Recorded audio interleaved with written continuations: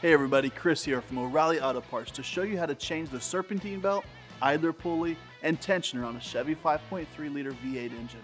Before I get into that, take a second to subscribe to our channel if you haven't already so you don't miss out on any of our new content.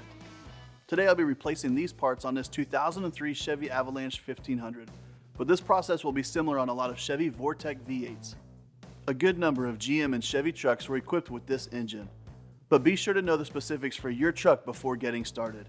And if you're not completely comfortable doing this yourself, we'd be happy to recommend a professional technician in your area. Once you've got your supplies together, here's what you'll do. To completely maintain or repair your belt drive system, it is usually best to replace your serpentine belt, idler pulley, or pulleys and tensioner assembly at the same time. Most of these components tend to wear out around the same time. A worn belt may just be the result of years of use, but a failing tensioner or idler pulley can also cause accelerated wear. Once you've got your supplies together, here's what you'll do. Take off the engine cover by loosening the intake manifold sight shield bolt. Remove the cover from the cover retainer, then remove the cover retainer bolts and the retainer if required. Loosen the air cleaner outlet duct clamps at the throttle body and mass airflow intake air temperature sensor. Remove the radiator inlet hose clip from the outlet duct. Then remove the air cleaner outlet duct. Before removing your belt, make sure you have access to a routing diagram, which is usually in the engine bay, or take a photo of how it's routed. Remove the accessory drive belt by using a breaker bar with a hex head socket on the drive belt tensioner bolt.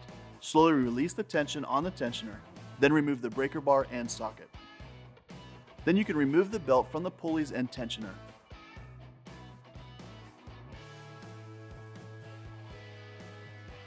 Once the belt has been removed, you can remove the tensioner assembly. In the case of our Vortec engine, three bolts hold the tensioner in place. Remove the bolts, then you should be able to pull the tensioner off. The idler pulley is secured by a single bolt. Use a socket and ratchet to remove this bolt, and remove the bolt and idler pulley.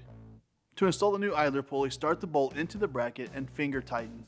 It can then be torqued to 37 foot-pounds. Install the new tensioner assembly and bolts and torque to 37 foot-pounds. Check the condition of the other pulleys and clean them if needed before installing your new belt. Reinstall the drive belt by routing it around all the pulleys except the idler pulley.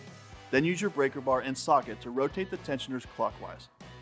Install the drive belt under the final idler pulley and slowly release tension on the belt tensioner. Remove your breaker bar and socket and inspect the belt for proper alignment. Install the air cleaner outlet duct. Be sure the arrow at the throttle body end of the duct is in alignment with the throttle body attaching stud. Install the radiator inlet hose clips to the outlet duct.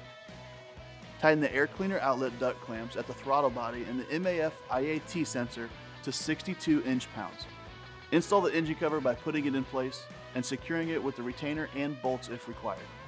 Tighten the bolts to 44 inch pounds. And that's it.